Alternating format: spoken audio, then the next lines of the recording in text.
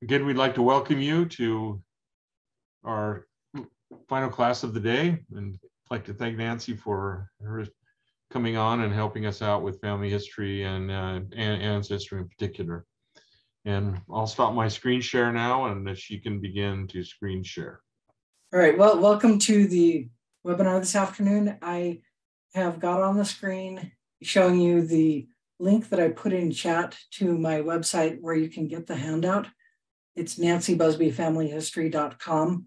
And if you scroll down, when it opens up, if you scroll down to the tab that says, the button that says place name searches April 2023, if you click on that, you can download the handout. I just wanted to make sure you know how to do that.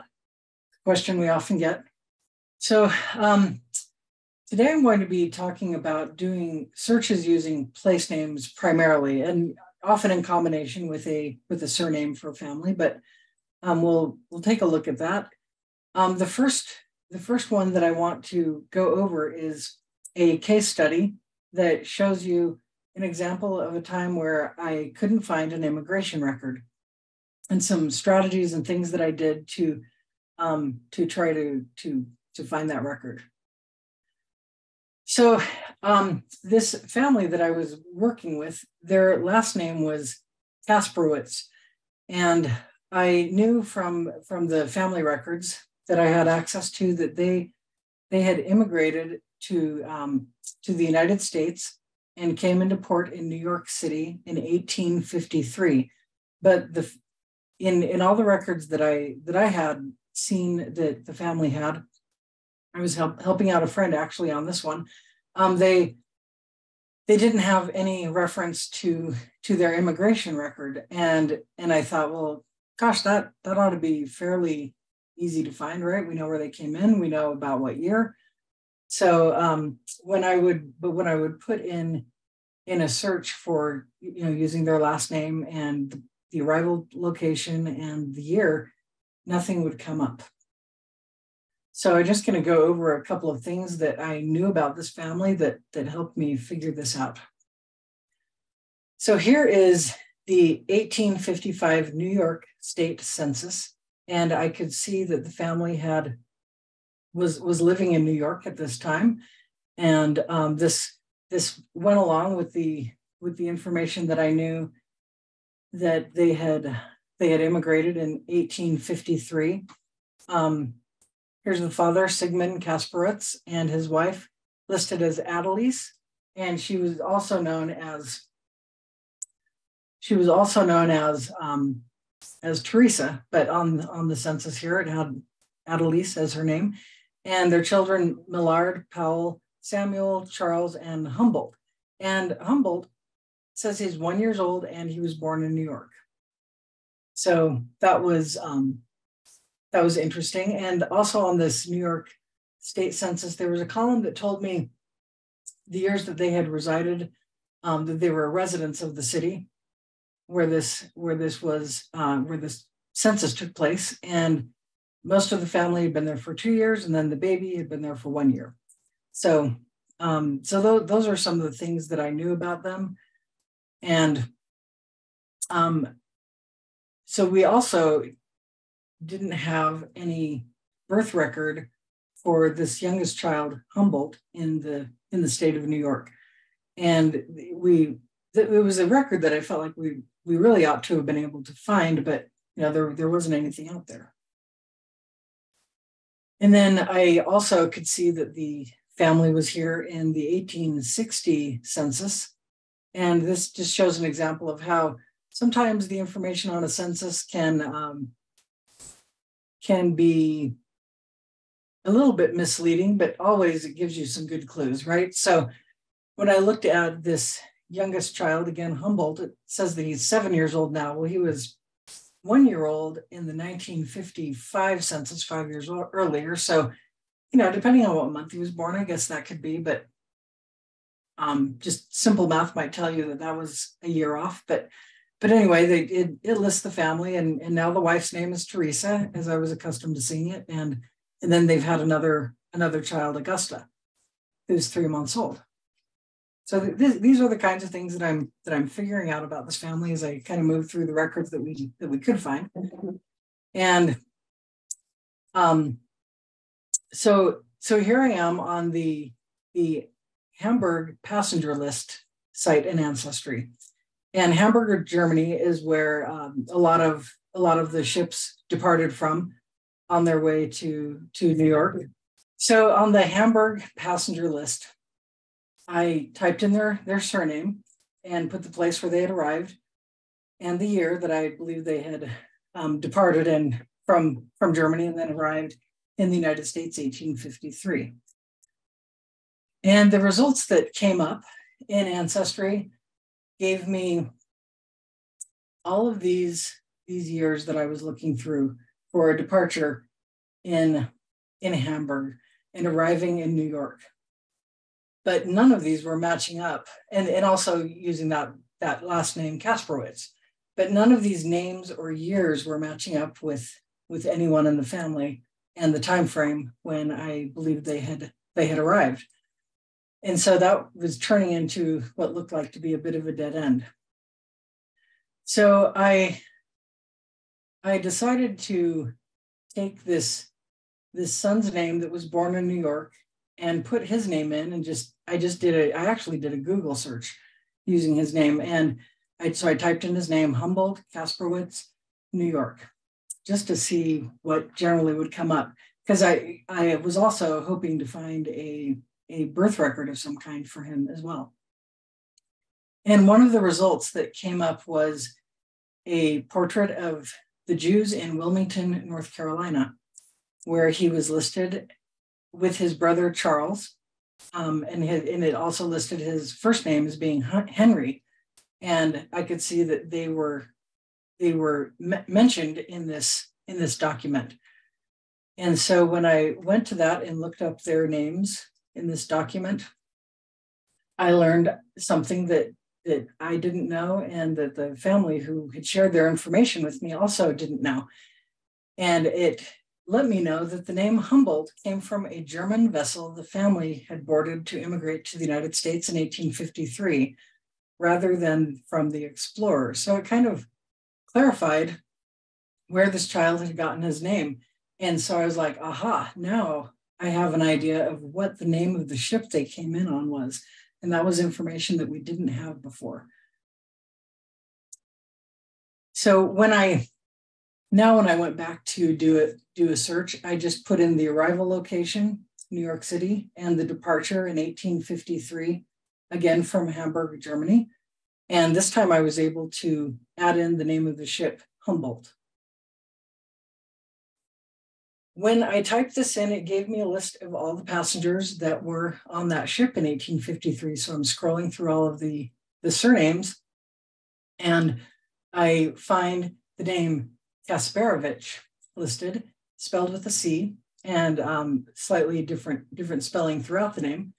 And I thought, well, I think this might be them. But this is the closest we've ever gotten to finding something. So I clicked on the little image icon. And that took me to the, the passenger list for Hamburg um, for that ship as it was departing from Germany. And it listed um, S. Kas- Kasparovich, or what I knew them as was Kasperwich, um, or Kasperovich. Uh, and this this kind of helped me see that this was the right the right family. And actually, if you if you look at the little tiny print, it lists some of the other family members here too. And it tells who the captain of the ship was. So that was that was great to to uh, kind of nail down documentation of of the head of the house and his family coming over in July of 1853. So then I decided, okay, I'm going, going to now turn to the the arriving passenger list for New York, New York City um, for Castle Garden and Ellis Island. So I put the search in, um, spelling it with a C this time, with this new spelling that I didn't know about or hadn't thought about trying to use before, um, and put the arrival in 1853, New York City, um, departing from Hamburg, and the ship name Humboldt. And I got five results all on a all on a different ship with the same, you know, similar spelling with the C, Kasparovic. And and I thought, oh, well, we still don't have their their arrival date and they're not listing the right boat. So then I went back to the search engine again. This time I took out the last name. I was like, I just want to see this ship, the ship's manifest that came in in 1853 into New York City from Germany on this specific ship's name. So I completely removed the surname. Um, this time I was able to see that the family was listed with yet another unique spelling, um, Carperwelly. And I don't think that anyone um, that anyone had ever thought about looking this family up under under that spelling of this name and i i really only stumbled across it by doing a little sleuthing uh, through through discovering what the name of the ship they came in on and um, using the names of the family that i did know and um, and the, the, the, the son that's listed that you can see here, Mandime, that that is the son that I knew on the family group records as Millard or Millard. Um, so anyway, I was pretty excited to see this. We could see that they arrived in September. So I know now that the the uh, ship traveled from July through September to get to the United States. And I clicked on the image to take a look at the family, and I could see the family here. It lists Simon and Teresa and Mannheim, Paul, Saul, and Carl, which is another variation of, of Charles, right? And um, so I'm like, okay, this this is definitely the family. I've got all the all the names with slightly varying spellings, but but this this is matching up pretty good. So so Simon Caparelli, Carparelli turned out to be the Sigmund Kasperwitz I was looking for. And here's the transcript that I could see about the information that was on the original record from Ancestry, listing all those dates and places. And um, I want to point out here that we're on page seven of nine. And I remembered that in the in the the uh, the the copy of the book that I found online, it commented that the this youngest son Humboldt Henry Humboldt was named named after the ship that they they came on, and I I wondered if he was if he was possibly born on the ship or not. So I actually looked through all of the pages on the ship manifest was was only nine pages in this case and on the last page, it said one child born on the voyage. And even though it didn't list the name of the individual, this, this gave me a pretty strong clue that he was not born in New York and was actually born on the ship as they traveled. And this was this explained why we weren't able to find find a birth record for him when we did for the younger children that were born after they arrived in the United States. So it's always good to look at look at multiple pages on on a on an original record when you find it, and not just the one page that has the one name or the one family that you're looking at. And this just kind of wraps up where we find Henry at the end of his life in Ohio. So there's there's a lot to be told about Henry and his birth and going to New York and then eventually finding himself in North Carolina and and then um, passing away in Ohio. So he he had quite quite the life, and it was exciting to find a little more information about him. Um, starting with just just some place name searches and ship names and trying to look for unique names within the family to, to utilize to aid in that search. Okay, the next case study that I want to do is um, finding a family by searching in cemeteries. I'm using this example going from Find a Grave, and um, the person that I'm that I'm looking for here, his surname is Dempsey, and I knew that he was born in Floyd County, Georgia, and he passed away in Calhoun, Alabama. So I, I kind of had an idea, you know, from other family records and whatnot that this Dempsey family found they the city they lived in, the county was right on the border of Alabama. And so the family sometimes they were in Georgia and some census records and some marriage records, and sometimes they were in Alabama. And and so I wanted to um, do kind of a, a thorough search of of the county with this surname and see if I could find any other family members who we didn't have death records for. So I, I did this by using the surname and just typing into the search Calhoun County, Alabama. And when when you do that, it's going it, it's going to bring up all of the cemeteries in that county.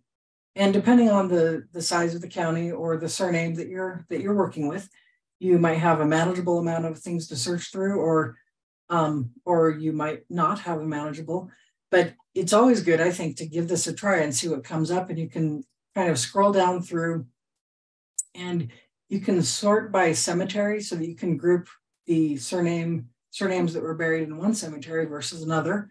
Um, and that that kind of helps as you scroll through. Well, how many how many family members are here? How many were in another one? And then um, go to the map, go to maps and take a look at where they're located in relation to where you know your family was living. And um, by, by doing this, I was able to find find the cemetery records for some of the family members that I didn't necessarily have um, recorded in my family history. And there are other ways to sort. There are many ways to sort. You could sort by date, um, death date. You can even sort by birth date, or by or by name. Um, but since we're just searching one one surname in this case, that's already a given, right? So um, this is one way to take a look at um, at the surrounding cemeteries in an area uh, instead of just the one or two cemeteries in the town where you think they passed away. Um, you never know where where someone's body is going to be interred, and so I, I found it very helpful to to take a look at that and see if I could find some other places. And um, one of the people I ran across here was um, in the Edgemont Cemetery in Anniston, and his name is Jesse Franklin Dempsey. And there were some dates that I didn't have for him that I was able to add add to my to my uh, repertoire of family history. And when I clicked on his name, it took me to to his person page within Find a Grave, and here it gave me information about his spouse, who his parents are, and also his siblings. So I was able to, just by clicking on one person, one name that I knew, um, kind of check everything that was in, that had been entered into Find a Grave against the family records that we had and see if there was more information that I could glean and gather from them. And, and another thing that I could do at that point is over here on the right, I can go to back to just that cemetery or to that city or to that county again um, and get back to where I was. You know, you can also click the back button, but um, if you want to just just explore the people in in that specific cemetery, I just would click on Edgemont Cemetery over here on the right, and that would bring up all of the Dempseys again in that cemetery. And, and you can go in and edit your search and add initials or first names if there are other specific people you want to try to find but it's a it's a great place to start to throw out cast kind of a broad net for a surname in a specific location. So here I am at the Edgemont Cemetery um, front page, and I type in Dempsey so I can get the search for for that if I hadn't already been where I was. You could do this with any cemetery. Go to the search criteria and just put in the surname. Um, Another thing you can do is um, an individual, uh, like a, a, wife who, when it lists their their maiden name, you could also go back to your search and just put in that maiden name and see if her parents and siblings could be possibly buried there too, or in surrounding surrounding cemeteries in the same area. Now I would like to go over some some things that I was able to find using newspapers.com kind of hopefully spark some some ideas as you think about your family tree, some of the people and places that you have been looking. Um, it might give you some ideas. So when you are physically at the BYU library, Family History Library, you have access to newspapers.com. Um, they have the full membership available there. Um, you can purchase a membership uh, so you can access it from home also if you prefer. But uh, you can, if you if you don't live close to Provo, if you're somewhere far flung out there in the world, another option is to go to a local local public library or a family search center. Um, you can do a search online for family search centers near you. Um, they they might have memberships available to this, and you could always call and find out if they have it. But even if you decide you want to purchase the membership yourself, when you go to newspapers.com, it's going to take you to a page, and I like to sometimes scroll down to search by location. Um, and one of the reasons I do that is because not every little city, town, or hamlet has has a has a newspaper that's necessarily recorded. And and so sometimes the the news and events of of several towns or cities are going to be found in in a in a like in a county paper or a, a paper that covers a certain region of a, of a state or a county and so i like to just kind of see generally what's out there so i'll i'm going to in this case i would click on virginia because that's the state that i know i want to go look at and after you click on that it's going to bring up a list of the different cities that that they have records for newspapers. And so you can then select a city if you want to, or you can take a look at the map. So over here on the top left, there are two tabs, browse and map. So if I click on map, that's going to take me back out to a map of the world. And here I can see there are a little over 2000 possibilities in this in this area. And and that that's that's kind of what your your 45,000 foot view, right? so you want to zoom in on that and hone in on the the specific cities and county of the area where your ancestor lived. And you're going to start seeing these little little map tags um, populated on the map. And some of them are going to have a little number that tells you how many different newspapers were associated with that specific area. Or if there's no number, there probably was just one, or you might need to zoom in even tighter to see what those numbers are. So I want to zoom in tight to this little town. And once I get, get close enough to it, I can click on that and I can view the different newspapers that were around in that county that they have records for. And so in this case, I've got a surname that I want to look for, but I kind of started with the with the map and the locations where I know they were living. And I'm going to start with the Staunton Spectator. So when I click on that, it brings me to a page that is going to search any of the archives for that particular newspaper. And um, I can I can uh, narrow it down by date if I want to. I can browse the archive by date. I can also scroll down and take a look at other nearby newspapers if I exhaust this resource and I want to look at other things, there are several different different options here. But um, in this case, I go ahead and type a surname in, Hannah, to see what I can find in this particular newspaper in the area where I know this family lived. Okay, so once I once you you click on that that search criteria, you've got some other options that you can use to narrow down your search if you want to or need to add a date range so that you can narrow narrow the search to just a time frame where you know they they probably likely lived in the area you can go ahead and edit that search and add that in. You can also add a more specific location if you want to. And there are other filters that you can check out. But over here on the top left it tells me that i have 210 matches for hannah in this one paper that i'm searching. And it gives you a preview of the of the article and it highlights the name which is always really helpful. To as you're scrolling up and down you can you can kind of pr- pretty quickly kind of run through and see if if any names that you know of are popping out at you. Um, and then it also tells you what page it's on and which issue of the, you know, the date that that particular newspaper was from. And so this is another way that you can sort through the, the date ranges. Um, if you don't put a date range in, you can also um, have it sort by date on these results. So over here on the right, I can see the map that I'm in Virginia and, and it's showing me the different matches within these different decades. So in the 1890s, there are 82 matches. In the 1880s, there are 81. The 70s, there are 33. So I could click on any of these and just, just take a look at a specific decade. There's a particular person and time frame I'm looking for. Um,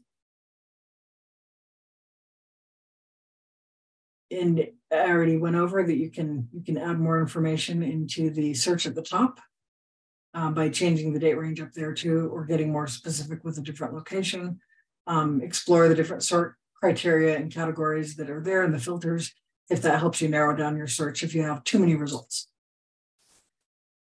We've got our 210. And right now I've got the Staunton Spectator. So I want to click on that and take a look at on page three of this one. So when you click on the actual article, um, you want to make sure you take a look at and notice that it's telling me there are one, that we're looking at one of nine matches on this page of this newspaper. So that lets me know that the name Hannah is showing up nine times um, from what, what they're able to find. And so I don't want to only look at this at this entry. I want to make sure I zoom out and kind of pan around the page and find the other highlights of the name and see if there are other family members it talks about.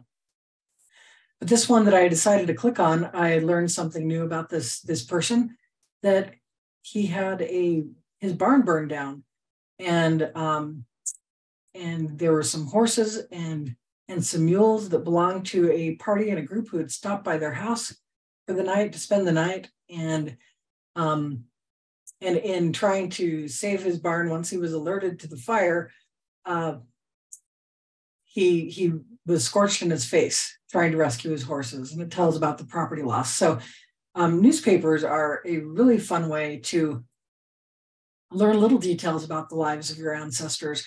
And i will often go to newspapers.com when I'm researching a specific branch of my tree and just see if there's anything out there in the area with their surname. So I'll start with the location I know they were living and then pop in their surname, just like I showed you here, and just kind of start scrolling through and seeing if there are any interesting tidbits of information that I can learn about the family. Um, and some oftentimes there's there's nothing there at all. But I will tell you that it's always worth the search for me because when I do hit on a on an area where the family was was actively being reported on and what what they were doing in their lives and what was going on, it'll it will have um, often birth announcements. It will have marriage and death obituaries. Um, also, like social calendars of you know, Mr. Jones's parents were in town visiting for a week from Timbuktu, and you you just kind of learn little snippets of their lives. So I always like like using this information. So this was in 1896 in March. And when I when I zoomed out to look at see what those other matches are, I could see that it took me to to more information about the article. So there was a little a little bit of a snippet about the information. When I zoom out, I can see the full article.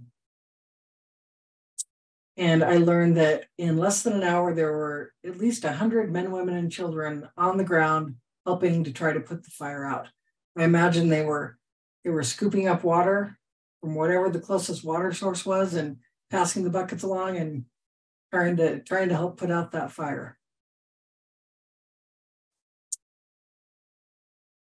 Um, and then when I when I looked at another article in the same same time frame, I'm I've forwarded to, to June now, June of 1896. Here's another um, another uh, young man, Eugene Hanna. He was a, a little boy, about three three years old at the time, and I learned that he was a he was called the Little Prince, and he won immortal renown by singing singing a solo in the choir, and that was that was kind of a fun fun little thing to learn about this little boy. Um, John is asking a question in the in the um, in the comments. How do you copy the article for reference?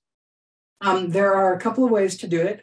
Up, here on the right on this page, you can see there is a clip option and you can um, do a virtual clip of these articles.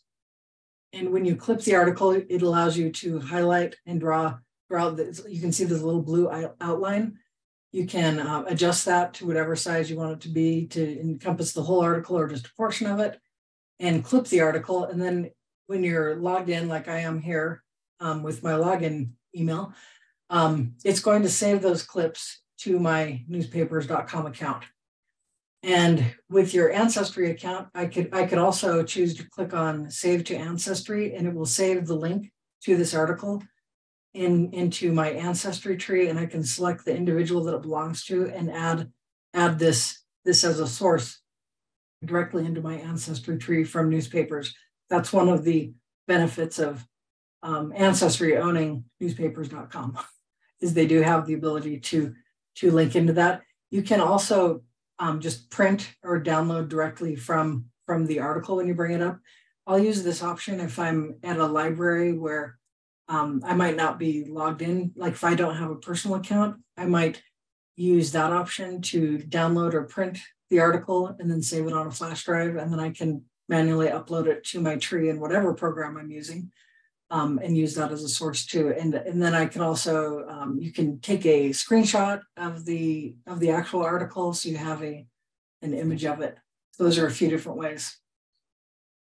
Um, and then there's also a question here about the handout. Um, the handout is, is at a link um, that is in the chat, nancybusbyfamilyhistory.com. And we'll just take a moment and pull that, that website over. So when you click on that link, it's going to take you here to my website under the Ancestry tab. Scroll down to place name searches, and when you click on that, it's going to open the PDF, and that is your handout. It's It shows all of the slides. And it looks like um, Elder Anderton put the link in again. Thank you. So you can, you can access all of the slide decks from there for the handout. We'll talk about that again too to try to catch everybody. So then I also looked at a one of the other matches that was on this page, and I see that Mr. Henry Hanna of Mount Salona is building a barn. Well, I know that he needs to build a barn because I know that a few months earlier his barn burnt down. But kind of fun to see that he was picking up and moving on and and getting to work, putting his barn up again interesting things I never would have known other than finding this. Um, this article is, uh, you might recognize that last name that comes up, Busby. That is my dad. After finding all of this cool stuff about my friend's ancestor from the Hanna family, I thought, well, I want to see if there's anything on my family. So I put, um, I was born in California. And so I put, I, I went to the location where where my family lived and put in my last name to see if there were any articles about my parents or grandparents or brothers and sisters and i found this article advertising that my dad was going to be teaching a class in azusa california to the genealogical members there so um, I, I knew from finding this article that I that I come by this this honestly. I, I definitely was exposed to to the um, genealogy and family history bug for my parents. And it was fun to see that my dad was out there teaching classes and feel like I'm following in his footsteps. So that's kind of fun. So you don't have to reach so far back into history to find newspaper articles. Don't forget about your your family who's a little closer um, to you too. You might find out things that you didn't know about them. All right. Um, on, on this section, I want to show you the Family Search Wiki because it's such a great location finder resource. When I when I decide to dive in and, and do some research on a specific family, I don't I don't always know what all the resources are that are available out there. And how could any one of us really accumulate and gather that information? If you haven't used the Family Search Wiki before, um, I highly recommend it so that you know what kinds of records are available out there for you to even begin searching for.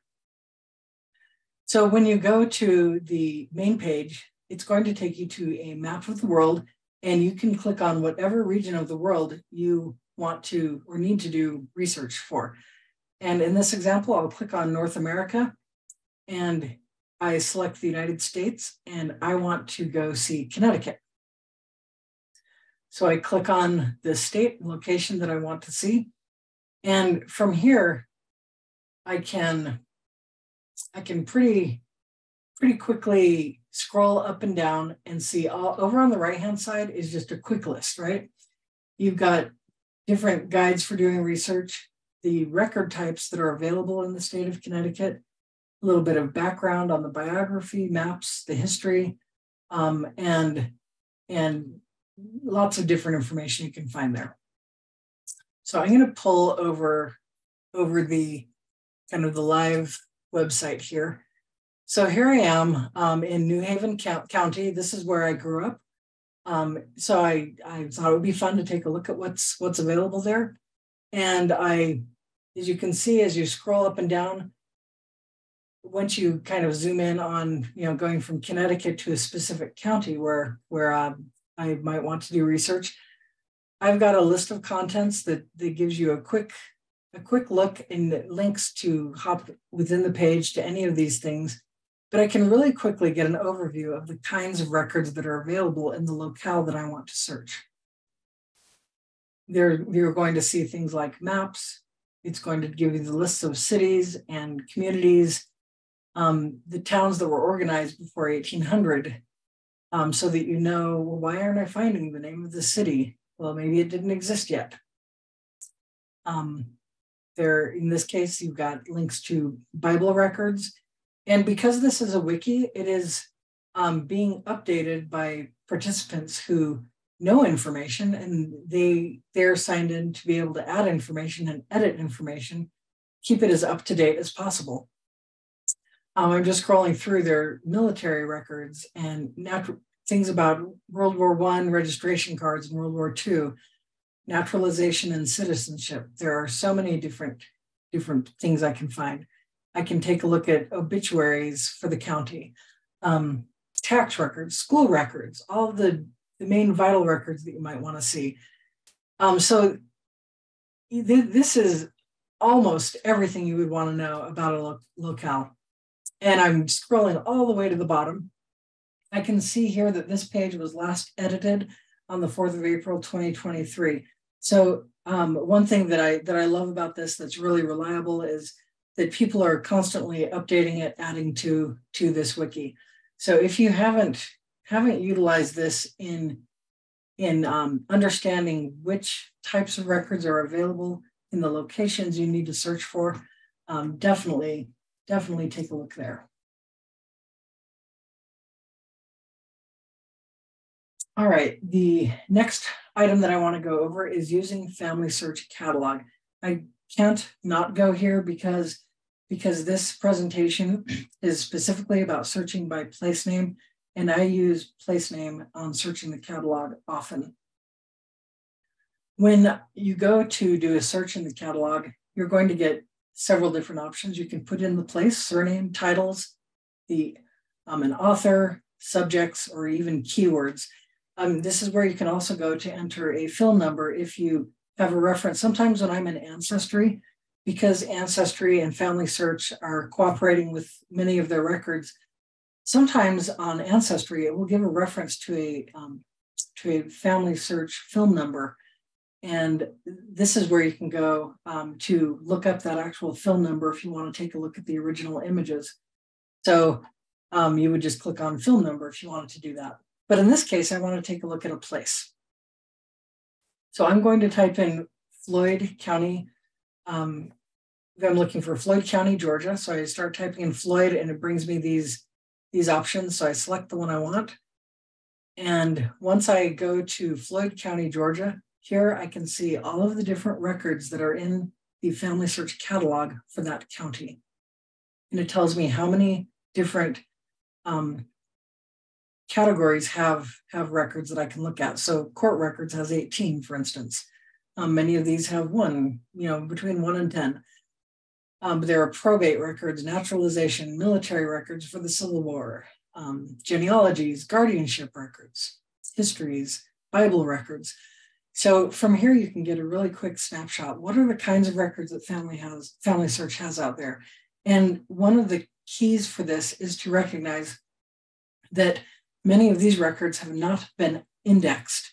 And so by just typing a general search in their search engine, it's not going to bring up these kinds of records um, for the ones that have not been indexed. So I, I always want to take a look at what's in the catalog outside of the hints that are being given to me from the indexed records. So I scrolled down to the poor and common school records. And the reason I wanted to look at this is because one of my ancestors, um, Berryman Shoemake Dempsey, my mom had a really poor photocopy of a, uh, he was a, um, like a school commissioner for the, for the uh, local school. And she had a really poor old photocopy that she had done in the 1970s that I had a copy of that it was hard to read. And I thought, well, she probably got this record from from you know from a from an image catalog somewhere. And so i wanted to see if i could find find his record. And it wasn't indexed. And so i did have to search page by page by page just scanning scanning looking for his name. So you you've got a little bit of old school research that you've got to do when you're uh, when you're utilizing this but it can it can be very rewarding so I want to show you a few of the things that I found besides my um, third, third or fourth great grandfather's name. So I went there looking for one thing and walked away with dozens of, of names and people and information.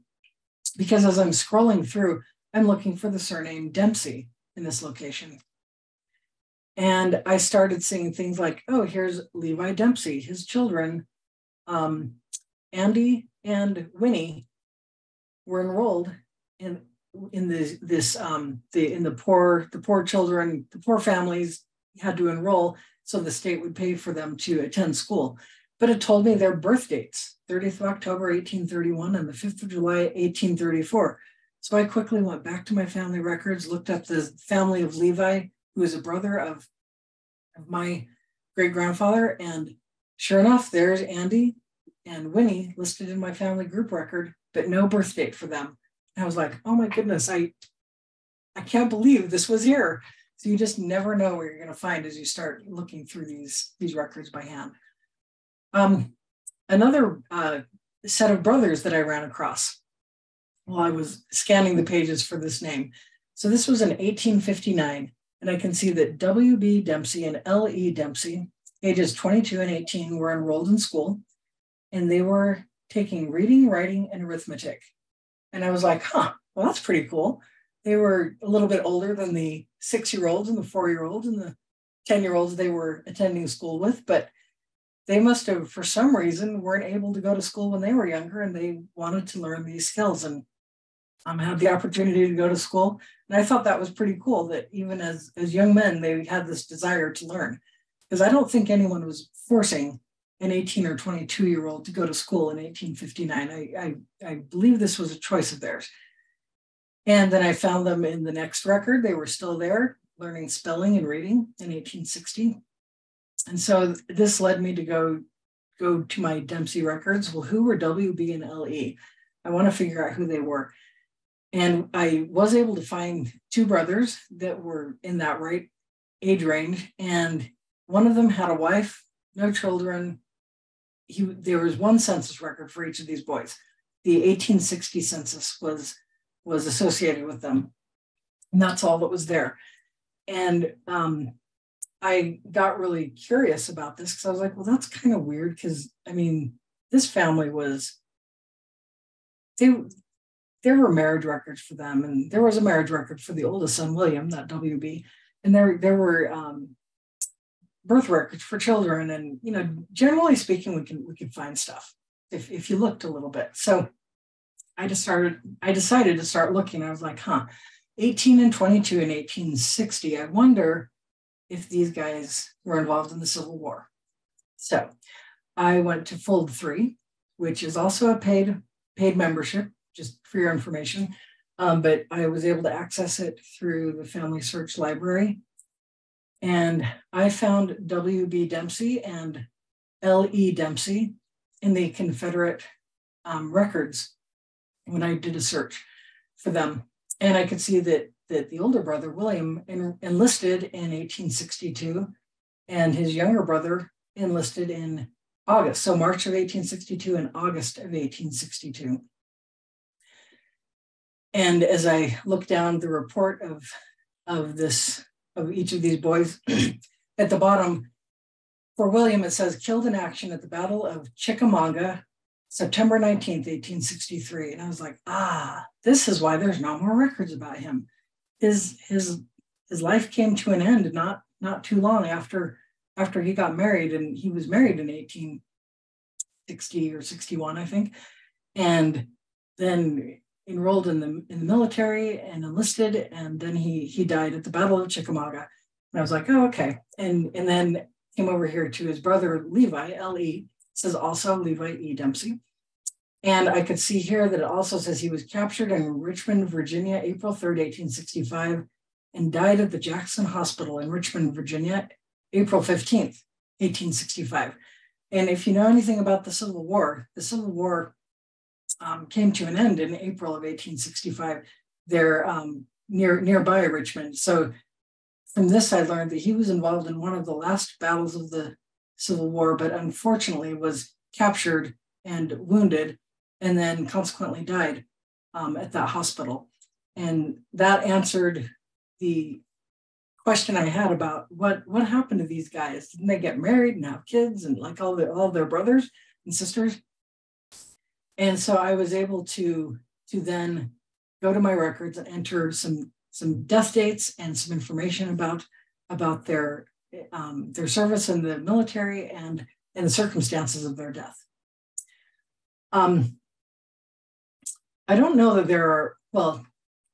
I like to think that there aren't too many coincidences in life, and so I, if you if you kind of think back with me, I started out looking for um, this one ancestor who I wanted to look in the catalog for all the records in the county because I needed to find these specific school records, right?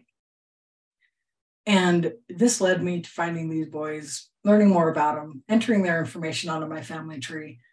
And about four or five months later, I was on a business trip that took me to the southeast of the United States. And I uh, was in North Carolina and South Carolina, Georgia, Alabama, and Tennessee on this trip. Um, kind of driving around, visiting some some different uh, manufacturing plants that I that I needed to to go take a look at for my for my work professional work. And um, I was I was with a coworker, and on this trip, while we were driving through Georgia, I said, you know, um, Sarah, my my ancestry goes to this little town in Georgia, Cave Spring, and we've got about a day where we're just it's just a driving day in between you know from georgia to i think we are going to alabama. I said would, would you mind if we just kind of dipped down and visited this little town? And so we did and i took some pictures and it was kind of fun to be in cave spring and and see where all these ancestors that i've been doing research were were, were from. And and then uh when we and then we the last place we were was in uh, chattanooga tennessee and while we were in Chattanooga, the, the, the water main in the city, or one of the water mains in the city broke and was flooding the city all over the place. Like our like the air conditioning in the hotel didn't work. They didn't have food service. The there's an aquarium in Chattanooga, and that was we, we had tickets to go to the aquarium that night after we were done with our business. And we weren't able to do any of that. We had to order food from across towns. so they could bring it into us. And um, it was it was a fun experience. But the uh, chauffeur that was helping us out in the in the city that day he knew that we had tickets to go to this place, and he said, "Well, I can I can drive you around if you want to do some sightseeing, and you know, because your your flight's not till tomorrow, and there's really nothing going on in town." Um, they they feeling bad about that, and we're like, "Oh yeah, that'd be great. What are what are some options? What are some things that we could do around here?" He's listing a few things. He goes, "And the the Chickamauga battleground," and I was like, "Wait, what did you say?" he goes, "Chickamauga battleground." I'm like, so, Sarah, do you mind going to Civil War battleground? No, that would be interesting. So, I, within months of finding this record that our family didn't have any any knowledge of or records of, I was able to go visit this battleground where this brother had died, and it was such like it was it was kind of surreal because I was just like this was not even on my radar of things to do, but it finding the records and then being there in person, it just made that connection come together. And, and this is what doing family history is about. So searching by locations and going to locations, finding out about these people can be so rewarding just personally um, and making connections with your family and and also it will enhance the story of their lives as you're gathering information about them. Um, I I was able to look at military records and the oaths of allegiance was one of the items under military re- records. And I wondered, what is that? So I clicked on that and it took me to all of these Dempseys that I found scrolling through the pages where after the Civil War, they had to um, sign an oath of allegiance to the United States and that they were not loyal to the Confederacy. So these were just fascinating information to find. And these were all in the catalog underneath the category of that county. So hopefully you've learned a few things um, and get maybe have some ideas of other kinds of records that you could look using these, these kinds of, of theories and thoughts. But went over immigration and travel, how it can help using Find a Grave, newspapers.com, the Family Search Wiki, and the catalog. That takes us to the end. If you have questions for me personally that you wanted to ask, you're welcome to email me at busby.missionary at gmail.com. And the presentation is available on my website. The, the link is in the chat several times, I believe now.